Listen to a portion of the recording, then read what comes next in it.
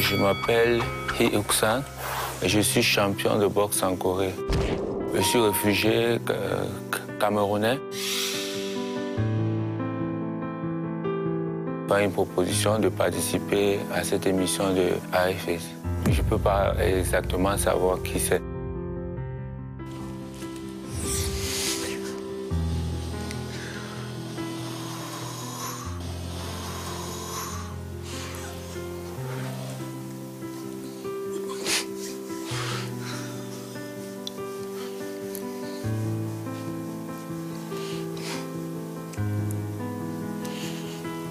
ハハハハ!